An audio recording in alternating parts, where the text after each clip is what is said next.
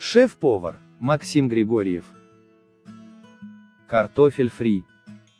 Как сделать картошку фри дома, интересует многих любителей вкусных блюд из картошки, фастфуда и прочей еды, которую трудно назвать здоровой. Хотя, сколько бы ни говорили о вреде этого блюда, почему бы изредка не побаловать себя. И вовсе незачем отправляться в кафе для того, чтобы покушать картофель фри. Можно пожарить его дома без фритюрницы. Время приготовления – 15 минут. Ингредиенты. Вода 1 литр. Картофель 1 килограмм. Масло подсолнечное рафинированное 1 литр. Сахар 2 чайные ложки. Соль 1 чайная ложка. Шаг 1. Для приготовления вкусной и хрустящей картошки фри с корочкой, нам понадобятся следующие ингредиенты, картофель, вода очищенная, сахар, соль и рафинированное дезодорированное масло, приблизительно 1 литр.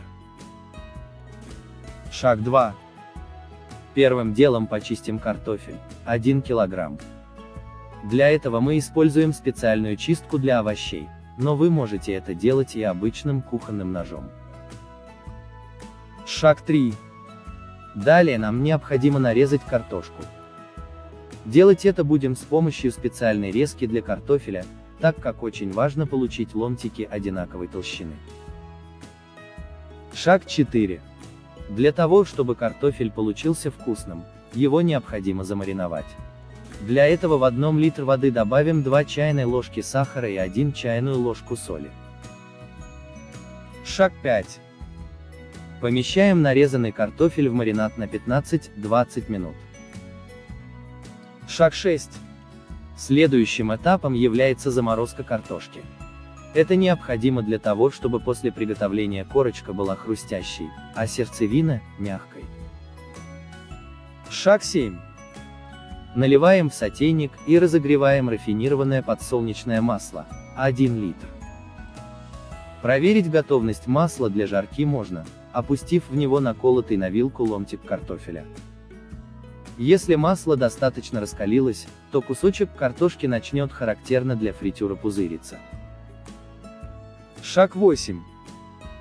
После того, как масло достаточно раскалилось, опускаем в него нашу картофельную соломку.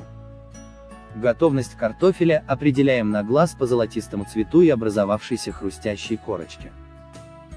Например, для ломтиков толщиной в 1 см время жарки будет около 8 минут. Шаг 9. Достаем готовую фри на бумажное полотенце, сложенное в несколько слоев. Это необходимо для того, чтобы впиталось лишнее масло. Теперь осталось лишь посолить картошку и можно подавать к столу. И помните, кушать его необходимо горячим. Шеф-повар, Максим Григорьев. Подписывайтесь на мой канал. Делитесь отзывами в комментариях.